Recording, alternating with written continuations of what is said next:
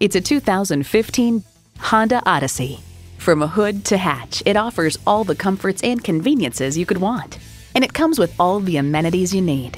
Streaming audio, doors and push-button start proximity key, front heated leather bucket seats, auto-dimming rear view mirror, wireless phone connectivity, dual zone climate control, V6 engine, power sliding and tilting sunroof, gas pressurized shocks, and power heated mirrors.